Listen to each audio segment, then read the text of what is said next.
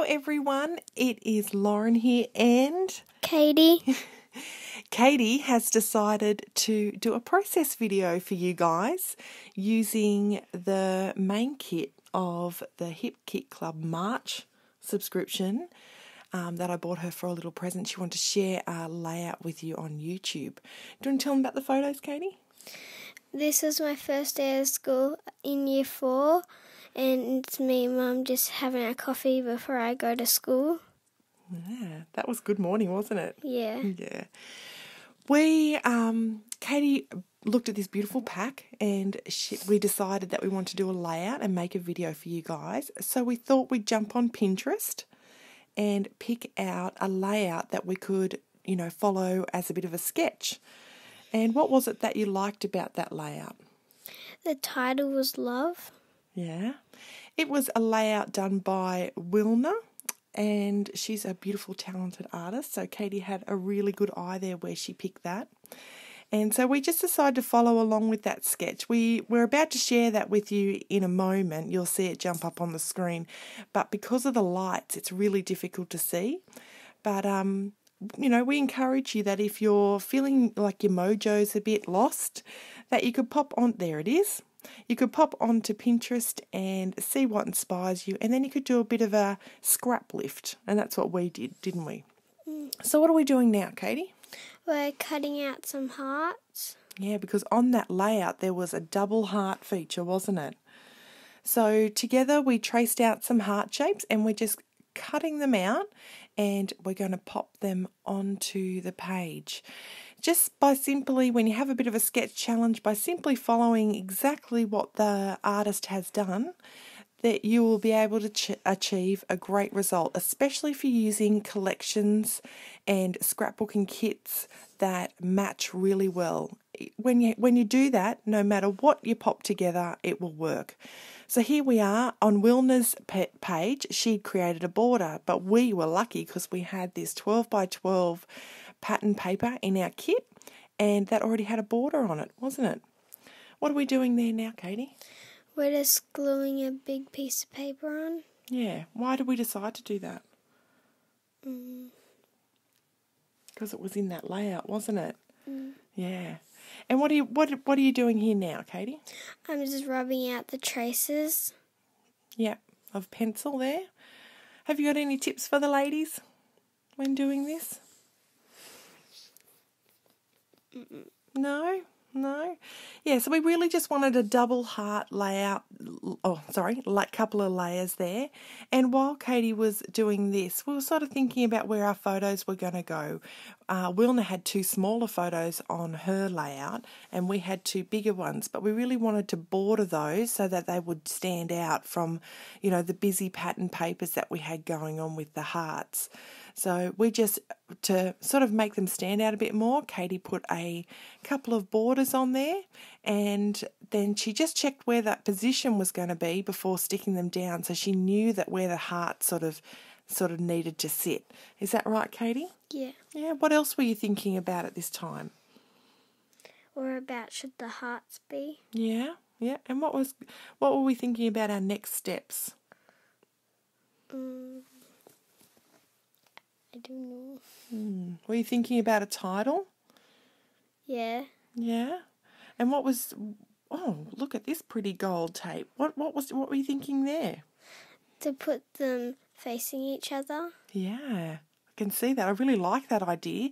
So you've sort of got a scalloped edge running across the page there. Mm. That looks really good. Scallops top and bottom. I love that idea. And how super gold and sparkly is that? Very. Yeah, very. so here we are. We're just going to pop our photos on to the layout. And good girl Katie checking the position, making sure it sort of fits. Referring back to the sketch, we had the sketch sitting beside us on um, on my phone, and now we're here thinking about a title. So good.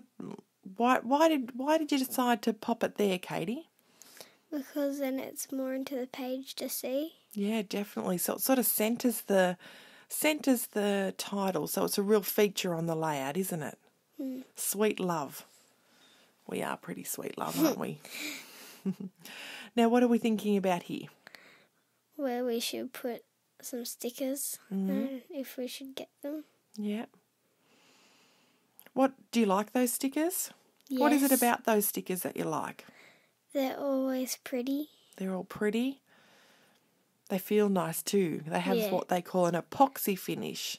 And sometimes epoxy stickers, um, you need to put a bit of adhesive behind them to give a, give them a bit of an extra boost.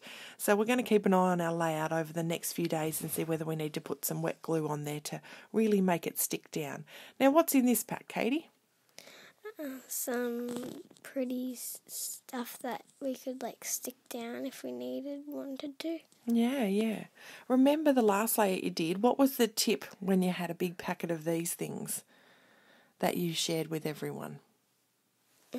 Remember you're going to, once you used a piece, what would you do? Cross it out on the back. cross it out on the back. So Katie a little while ago did another video, um, and we shared that on Facebook where she was using all these beautiful ephemera pieces, but we wanted to know what we'd used up. So Katie came up with a really great idea just to cross them off the back of the packet. So every time you knew you used a piece, you'd cross it off, and then you'd know exactly what ephemera pieces were left in the pack. And that was a re- really great idea and a great tip for lots of people there.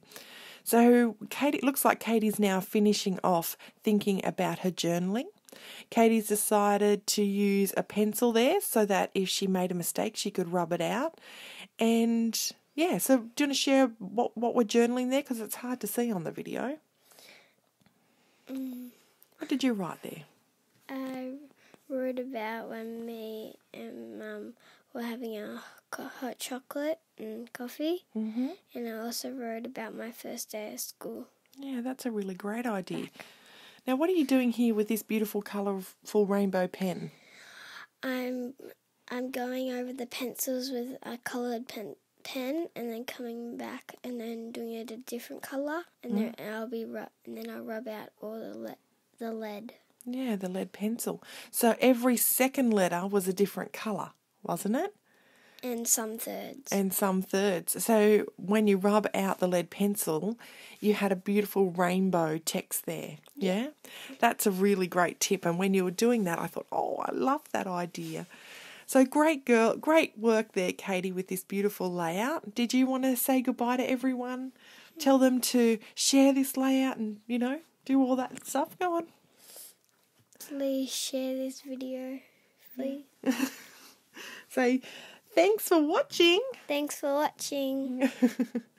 All right, guys. I hope you like Katie's second process video. There's a playlist called Katie Create, so check that out if you want to see her first video. But I'm really proud of her being brave enough to jump in and have a go at YouTube and sharing her beautiful layout. All right, take care, guys. Bye.